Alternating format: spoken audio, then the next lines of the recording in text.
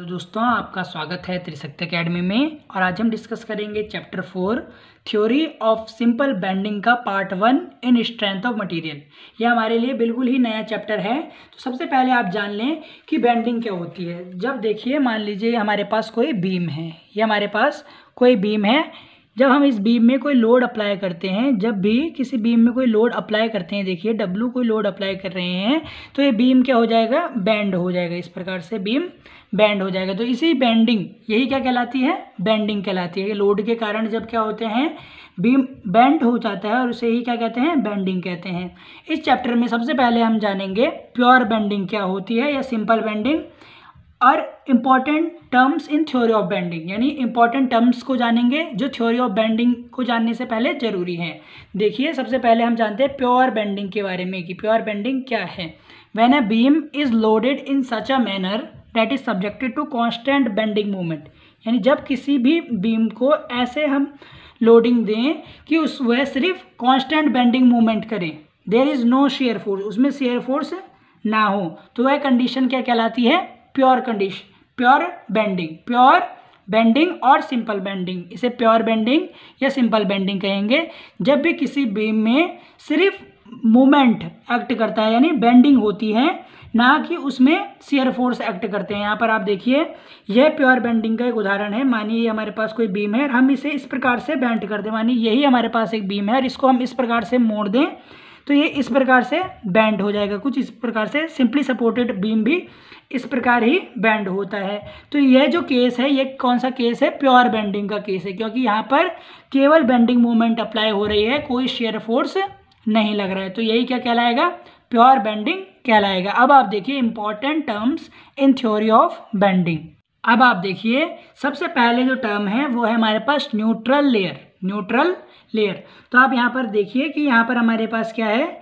एक rectangular beam है। एक रेक्टेंगुलर बीम है और इसमें आप ये जो लेयर्स देख रहे हैं, इन लेयर्स को हम कहते हैं लॉन्गिट्यूडनल लेयर्स भी आप इन्हें बोल सकते हैं लॉन्गिट्यूडनल लेयर्स आप इनको बोल सकते हैं। ये इमेजनरी लेयर्स हैं हमारे पास लॉन्गिट्यूडनल लेयर्स आप इन्हें बोल सकते हैं। अब आप देखिए, सबसे पहले न्यूट्रल लेयर क्या है? न्यूट्रल लेयर क्या है? Imaginary line in length of beam joining the centroid of beam ends is known as neutral layer देखिए, जब हम बीम को बैंड कर दें, इस प्रकार से बीम को हम बैंड करेंगे तो यहाँ पर आप देखिए बीम कुछ इस प्रकार, ये सबसे पहली कंडीशन है। जब बीम को हमने बैंड किया, उसके बाद बीम कुछ इस प्रकार से हो जाता है सेकंड कंडीशन में। तो आप देखिए, जब बीम मुड़ जाता है तो ये इस प्रकार से बैंड हो जाएगा। तो ये जो इसकी, ये जो आप देख रहे हैं मिडल में, जो ये लेयर है, ये क्या कहलाती है? न्यूट्रल लेयर कहलाती है। ये बिल्कुल सेंटर में होती है बीम के। ये देखिए, जो बोथ एंड ऑफ़ बीम ये दोनों जो एंड होते हैं बीम के, उनके मिड से पास आउट होती है। तो ये लेयर कौन सी कहलाती है? न्यूट्रल लेयर कहलाती है। In bending position of beam जब बीम हमारा बेंड होता है तो जो न्यूट्रल लेयर होती है, वो डिवाइड करती है बीम को टेंशन और कंप्रेशन में। यानी या बीम के जो ऊपर वाला जो एरिया है ये जो लेयर्स हैं, उनमें ये टेंशन का फोर्स होगा, ये जो लोअर होंगे, उनमें कंप्रेशन का फोर्स होगा। यानी ये जो लेयर्स हैं, उनको बांट देती हैं टेंशन फोर्स और कंप्रेशन फोर्स में। अब आप देखिए कि जो न्यूट्रल लेयर होता है, उसमें कोई स्ट्रेस नहीं होता। जो ये लेयर होती है, ना इसमें टेंशन होता है और ना इसमें कंप्रेशन होता है। इसमें कोई स्ट्रेस जनरेट नहीं होता। इसमें कोई स्ट्रेस जनरेट नहीं होता। अब आप देखिए सेकंड जो हमारे पास है neutral axis in any cross section of beam यानी किसी भी क्रॉस सेक्शन ऑफ़ बीम मानिए हमने यहाँ से किसी बीम को कट कर दिया तो ये बीम हमारे पास कुछ इस प्रकार से दिखाई देगा। ये देखिए, इस प्रकार से ये हमारे पास कोई क्रॉस सेक्शन आ गया बीम का। अब यदि हम इसके हॉरिजॉन्टल लाइन को पास आउट कराएँ, इसके सेंट्रॉइड से हॉरिजॉन्टल लाइन को पास आउट कराएँगे तो क्या होगा? यहाँ पर हमारे पास यही जो हमारे पास एक्सिस कहलाएगी, यही कहलाएगी हमारे पास neutral axis in any cross section of beam horizontal line passing through centroid of section यानी जो सेक्शन हमने काटा है या कट किया है, उसके अगर बीच बीच से सेंटर से कोई लाइन पास आउट कराएँ हॉरिजॉन्टल लाइन तो लाइन कहलाएगी हमारे पास न्यूट्रल एक्सिस इसको हम एन ए से डिनोट करते हैं. एन ए से डिनोट करते हैं.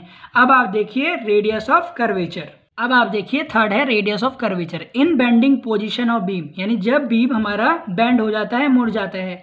तो जो न्यूट्रल लेयर होती है being bend and to form an arc of a circle यहाँ पर देखिए कि जब हमारा बीम क्या हुआ? बैंड हुआ तो जो इसकी जो न्यूट्रल लेयर है, वो भी एक आर्क की तरह इस प्रकार से बैंड हो जाएगी।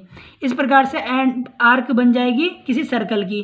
तो जो radius of beam the radius of beam ये जो रेडियस जो हमारे पास बनेगी the radius of beam in bend position जब हमारा बीम मुड़ेगा तो जो रेडियस बनेगी बीम की न्यूट्रल लेयर से, वो क्या कहलाएगी?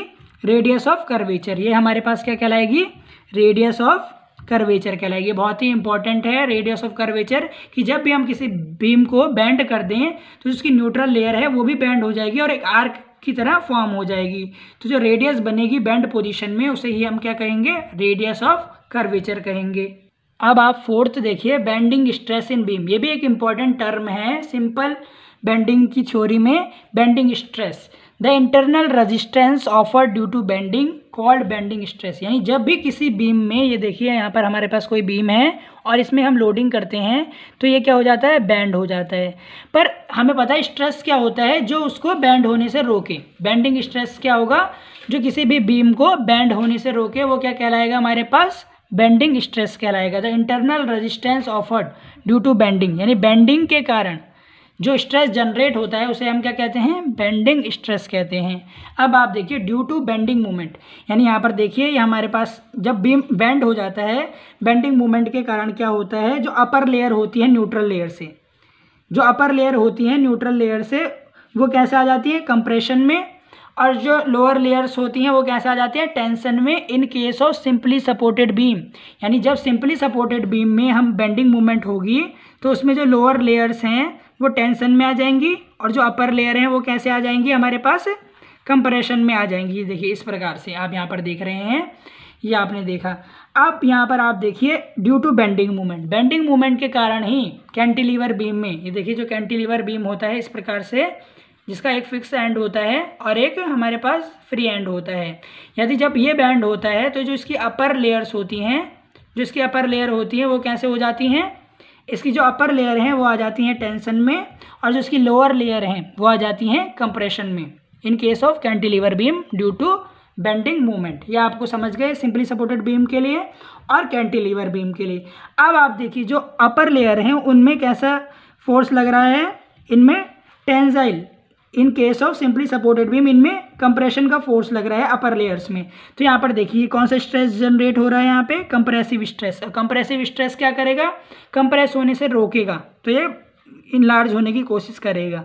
और जो हमारे पास जो टेंशन साइड है उस पर कैसा हमारे पास स्ट्रेस जनरेट होगा? टेंशन स्ट्रेस भी आप बोल सकते हैं या टेंसाइल स्ट्रेस आप इसे बोल सकते हैं। तो आप यहाँ पर देखिए, इन दोनों स्ट्रेसेस को ही हम क्या कहेंगे? बीम में बेंडिंग स्ट्रेस कहेंगे।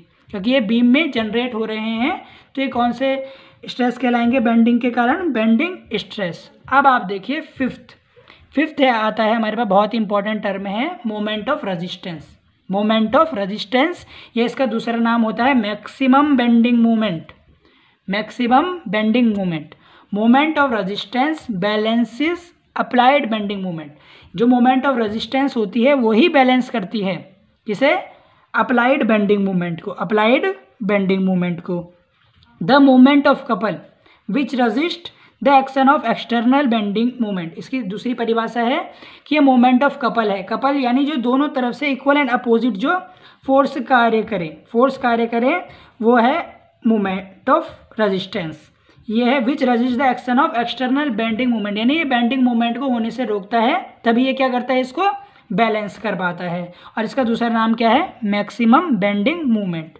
इसी के साथ आज हमारा यह part one in chapter four, theory of simple bending, यहीं पर एंड होता है। इसमें हमने डिस्कस किया बेंडिंग क्या होती है, और हमने जाना प्योर बेंडिंग और सिंपल बेंडिंग, आप इसे कह सकते हैं। और important terms related to theory of simple bending, आज हमने डिस्कस किया। यदि आपको इस वीडियो से रिलेटेड कोई भी क्वेरी हो तो आप त्रिशक्ति अकेडमी के कमेंट सेक्शन में कमेंट कर सकते हैं। और यदि यह वीडियो आपको अच्छी लगी हो तो प्लीज़ आप इसे लाइक कर सकते हैं। बहुत बहुत धन्यवाद।